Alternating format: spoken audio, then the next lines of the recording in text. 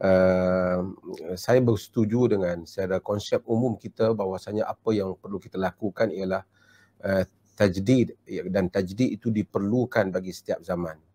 Cuma seperti mana yang disebut tadi ialah uh, dilema kepada tajdid ini ialah siapakah yang akan uh, mengendalikan tajdid ini.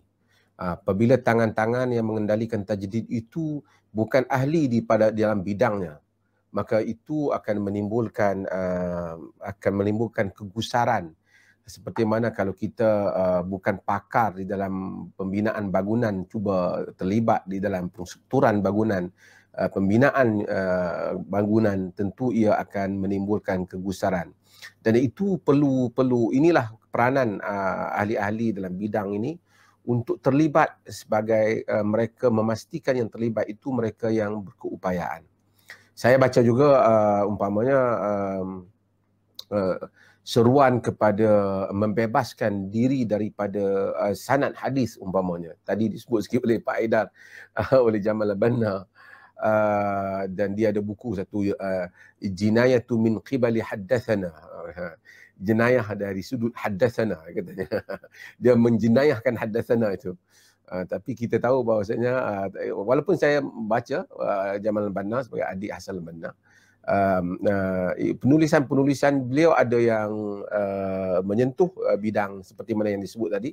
Tapi ada juga penulisan-penulisan beliau itu yang uh, tersasar daripada uh, disiplin ilmu yang mana mempunyai foundationnya yang kuat umpamanya uh, kerana dunia periwayatan ialah satu-satunya penyambung antara kita dengan uh, maklumat yang lepas. Kita tidak mungkin menerima maklumat melalui mimpi tapi melalui periwayatan umpamanya.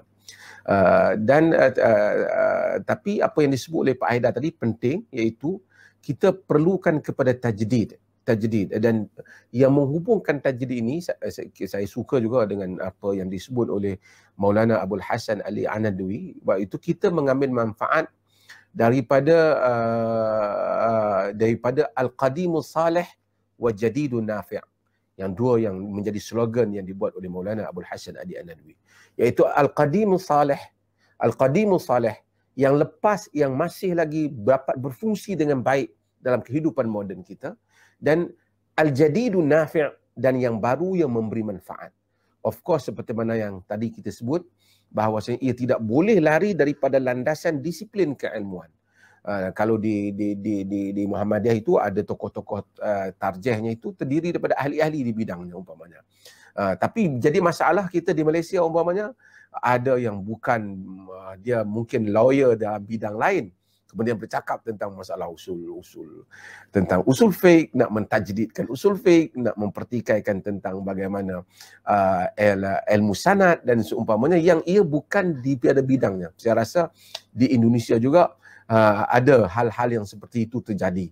Sehingga golongan liberalis itu uh, uh, seakan-akan tidak ada makna lagi kepada khazanah lepas yang begitu besar sedangkan khazanah itu mempunyai konteksnya dan telah menyumbang pada konteksnya. Dan konteks itu boleh muncul bagi setiap zaman. Ia mungkin pada satu zaman ia muncul dan kemudian ia menghilang dan konteks itu mungkin muncul balik pada zaman kemudian. Ini yang disebut oleh Imam Syatibi dan Ma'al Al-Qisam umpamanya. Bahawasanya kadang-kala ada kaul yang dia daif pada satu zaman ia menjadi kuat pada zaman yang lain disebabkan pada konteks yang baru yang dilalui. Dan ini ada peranan yang yang sedang kita buat uh, dan peranan ini saya rasa kita dapat gabungkan insyaallah kepakaran mungkin di Perlis uh, menumpang menumpang juga uh, dari uh, kepakaran yang banyak yang ada di Muhammadiyah. Boleh digabungkan tokoh-tokoh ini untuk kita sama-sama uh, melihat ruang-ruang pandangan-pandangan baru fikih untuk uh, bagi suasana kita yang tadi Pak Haidar sebut uh, fik bagi kalau Qaradawi sebut fik uh, akaliyat ataupun fik uh, golongan minoritas ini tapi kita mungkin ada fik untuk orang masyarakat yang seperti kita ini. Orang Melayu mempunyai latar budayanya dan kita tahu bahawa al-adatu muhakkamah adat itu diambil kira di dalam di dalam di dalam uh, hukum hakam juga apabila adat-adat yang tidak bercanggah dengan syarak itu. Kemudian kita mempunyai keserumpunan yang kesamaan kita. Kita mesti melihat bagaimana pendekatan. Kita lihat juga kadang-kadang berapa usaha tajdid dilakukan di di di di, di Nusantara ini. Uh, ada tajdid yang kita lihat uh, umpamanya sangat berakar dan kuat seperti yang disebut uh, Kiai Ahmad Dahlan umpamanya yang dibuat oleh Buya Hamka umpamanya dan juga di Malaysia juga ada tokoh-tokohnya. Uh, tapi demikian juga ada uh, tajdid yang mungkin menggusarkan umat kan kadang-kadang kerana kadang-kadang terputus daripada tabiat umat itu sendiri terputus daripada lingkungannya itu sendiri.